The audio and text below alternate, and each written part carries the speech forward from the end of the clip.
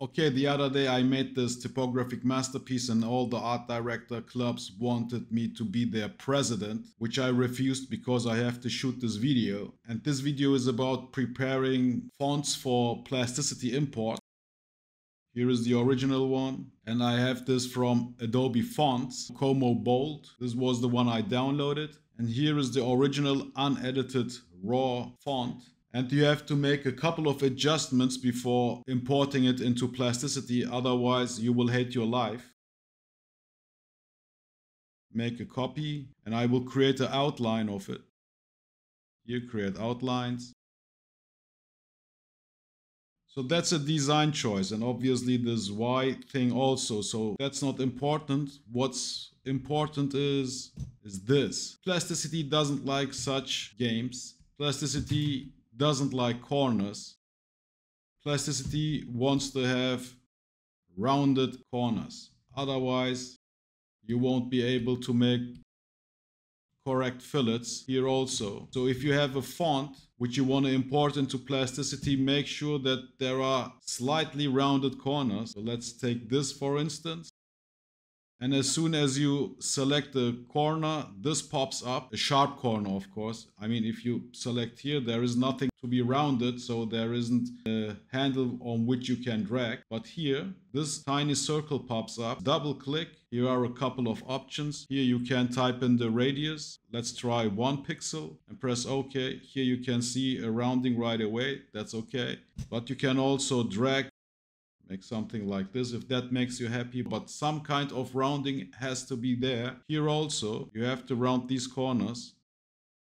And what I showed you with the letter B here two sharp corners this will give you a big mess in plasticity. So let's see how we can fix this one. So i will just take the letter b copy this letter and paste it in front. It's control f and here it is. Yeah paste in front. And i will give it another color. Lock this one the one underneath with control 2 control f like i said. And you have to make these adjustments. I repeat myself i know but that's very important. Otherwise chances are that you become a mass murderer. So delete one of these nearby points so in this case i will delete this one because i want to keep this straight line so with the path tool selected you see that the minus pops up, delete it, and you have this curvature going on. Just drag and press shift for locking this one on this direction. That's the first thing. The second thing you have to do is what I said at the beginning, round this corner. Round this sharp corner either by dragging right away or by double clicking on this handle and type in a number, one pixel. So that's what you have to do for all sharp angles before importing it into plasticity. And I will show you also what happens if you don't do it. And I will compare it with this one, with this edited one. Here in plasticity, with its facelifted UI, I will import both SVGs. Of course, you have to save it as an SVG in Illustrator in order to be able to import it into plasticity. That's the original one, the unedited one. And here is the one which was optimized for plasticity. And I repeat myself, that's not important. This one, this, this difference or this one, that's not the point. The point is discussing these, these corners. Scale this one also so we have approximately the same size. I will show it only on one letter. So let's say this letter T. So select both of them, the unedited and the edited one, Shift D and in face mode, if I drag out a solid right away, we get this. And I will do a second version of both. And I hope this won't confuse you. This is the unedited, this is the edited one. And I will make a second version of both with rebuild ones, because the rebuilding is also very important. So run the rebuild command and in points give it a high point count let's say 250 and check whether it looks good i say okay let's rebuild this guy also and also with points method and i give it the same point count but doesn't handle this sharp edge very well and if you say never mind i will bump up the point count to 300, there will still be some weird thing going on. But okay, let's go with this one with 300. And again, in face mode, let's extrude solids. And here you can see right away that this that these rebuilt ones look cleaner in comparison to these. But let's first start with the optimized version, with the edited version, but not rebuilt. Go to edge mode, select the edge loop with Alt and fillet and you can only fillet to a certain point. So you can type in a distance manually. So let's try something like 0.005, something like this. That seems to work. And if I type 007 James Bond style, it still works. After a certain size, it gives you an error, but you can get away with 0.01, I guess. So that's what you get with the edited but not rebuilt version. So let's check this one.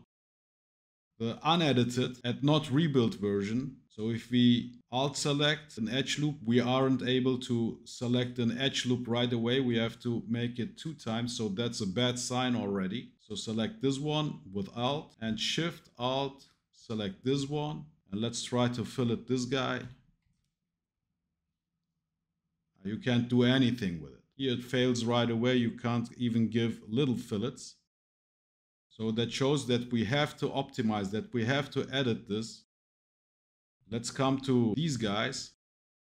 These are the rebuilt ones, but this is the not optimized one, the not edited one, and this is the edited one. So let's take this and you can see that you can select an edge loop right away. Just hovering over it, it shows that you can select this edge loop without doing anything else because we have rebuilt it and it is now one curve instead of multiple curves just joined together and I hope you know the difference or I will show it to you at the end of this video the difference between rebuild and join. Okay, let's take this guy. Let's select this edge and press BD for filleting. And you can see that we can make a big fat fillet already because of the rebuild, but there are a couple of problems. So let's keep on filleting First problem is obviously this shape is wobbly. While we were rebuilding, this edge didn't look clean.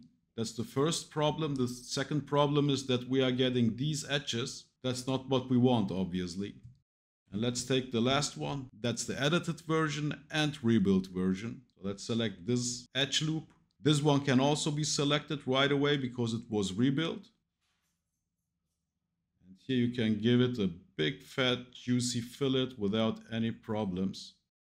Of course, this one also until a certain point. But this one nevertheless gives you the freedom to make a decent fillet. And if we hide the edges, give it this fancy matcap, you see the differences. Okay, and here the difference between a rebuilt and not rebuilt curve. I discussed it in another video, but it's always a good idea to repeat. Okay, now we are left with only these two. And have a look at the outliner. Here we have two curves. That's the rebuilt one, and that's the raw version, so to speak. So it looks as one curve here in the outliner, but if we press Alt J, you see that it consists of multiple curves. All these one single curve here if we unjoin it. So joining a curve doesn't automatically mean that we are merging the curves. Unlike rebuilding, if you rebuild the curve, it is merged. There is nothing to unjoin. So if I press Alt J for unjoin, nothing happens. So that's the genuine single curve, unlike this one. And just in case some of you may ask, what's what's this Botley thing? That's that's just a quick logo I did for an upcoming plasticity robot course. So stay tuned. Peace!